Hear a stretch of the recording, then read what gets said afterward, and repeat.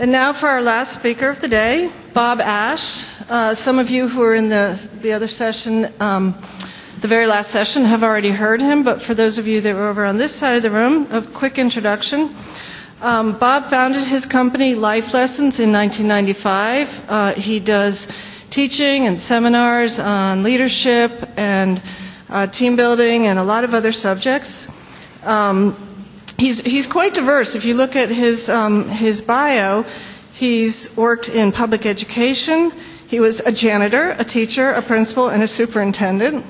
Um, he also played a few years of professional baseball, which I, is great. Um, and if you also look at where the organizations he's worked with, they run the gamut from schools to Chamber of Commerce, funeral directors, credit unions, banks, hospitals, law enforcement, quite a diverse background. I think you'll enjoy him very much. Bob Ash.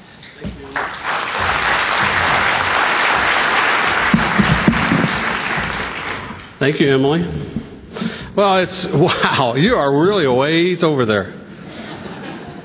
Can you see me? Good. Thank you for waving. Thank you for clapping before I start. It's really kind of cool when people do that.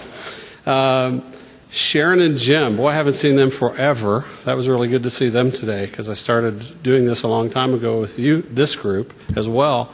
We're going to talk about leadership and teamwork today. We're going to use a little bit different approach.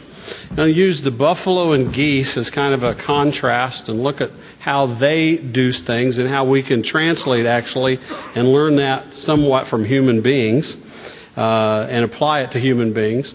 Before that, I always start out every presentation I have since 1995 with the same word. Uh, no matter what, or no matter who the group is, I always start out with the word perception.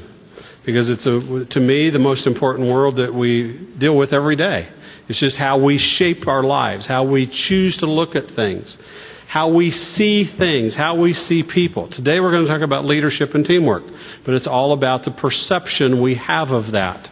Um, I say this all the time because it's true, is that the reason I say that perception is important because we tend to see what we want to see. And so what I'll share with you is two examples of perception, one of which I shared with my daughter uh, two or three days ago. We like to go out to eat when I'm with her, and we go to different places. I honestly have tried everything that she's taken me to. And I try very hard not to ask what it is before we eat. Because I know once you decide what it is, then sometimes it limits your eating. True? But I shared this with her after I tried some things last week. A quote that I heard from a guy named Stu Robertshaw. And he said, just always remember this.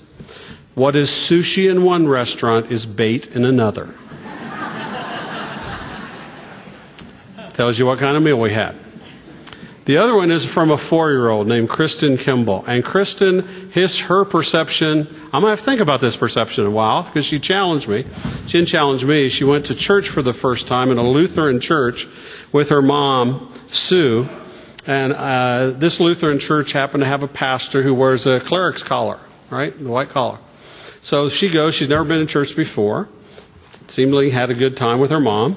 The next day, the pastor of that church decided to visit people who had visited the church on Sunday.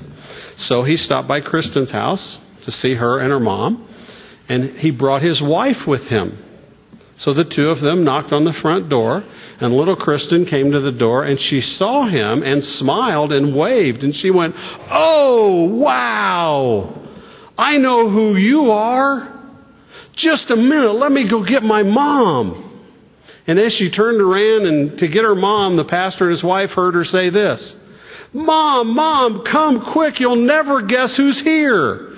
It's God, and He brought His girlfriend.